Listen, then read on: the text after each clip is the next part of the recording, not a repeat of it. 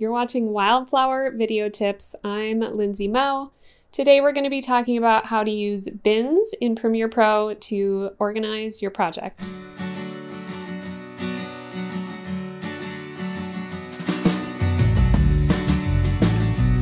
I love creating organized projects in Premiere Pro and using bins is crucial. It helps keep everything neat and tidy so you can find it, use it, and get on with your life. As food bloggers, we have a lot on our plates, a lot of different tasks to learn and do, and video editing is just one of them. So I want to help make it as quick and painless as possible for you. Let's go ahead and dive into the tutorial. The first thing we want to do when we get into Premiere Pro is look for our project panel on the bottom left here. If you're not seeing it, you want to look towards the top and make sure you are in editing view not something like color or effects. You can also find the project panel in those, but for our purposes, we're going to stick to editing. And if you're still not seeing it, you can check to make sure you haven't clicked on one of these other tabs down here, in which case you can look for the double caret and choose your project panel. Another thing I like to do is just press Shift 1 on the keyboard and it jumps right there. Now we are going to create what's called bins for every different type of thing that we're going to work with in our project. So you can look down for this little file folder down here called new bin. And for this project, I'm going to pretend like we have footage from two different cameras. So I'm going to have camera one, create another new bin for camera two. Let's do music, voiceover,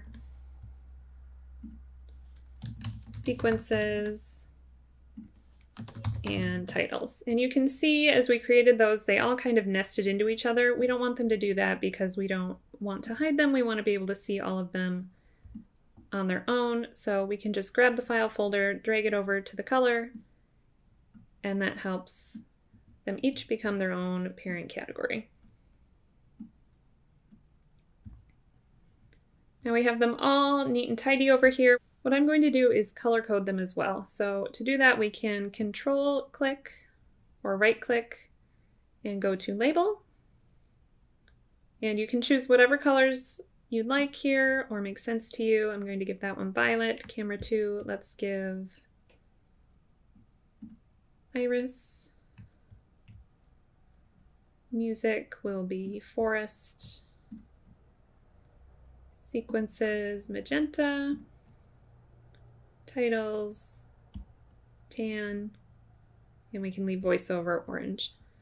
Now we want to import some footage into these bins, so I will click on the one I want to import into. You can do File Import, or I like to press Command I.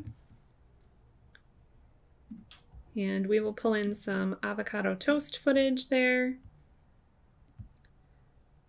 And go down to camera 2. Let's import some footage. We'll do some footage of guacamole here. Now you can see all of the footage in both the camera 1 and the camera 2 bin have the same color.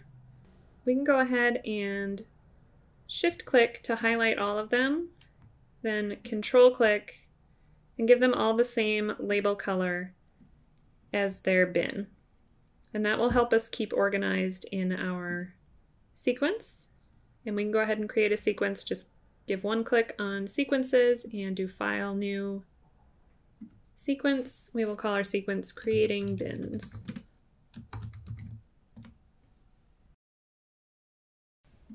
Now the reason it's helpful to color code different types of footage is, let's say I'm pulling in some of this,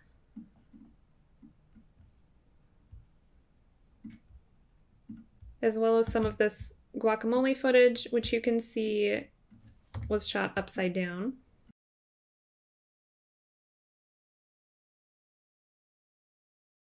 When I'm editing, I like to create a rough cut of everything I think I'm going to need in there, and then I'll go back and do any color correction or add any effects that I need.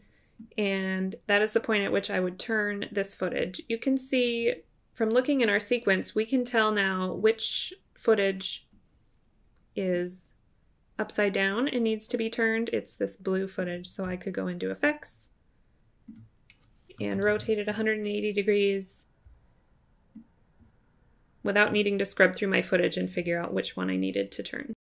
I've linked everything you might need in the description box below, including a link to the blog post on this. If you enjoyed this video, please give it a thumbs up, hit subscribe. I'll be back next week with another video tip. See you next time.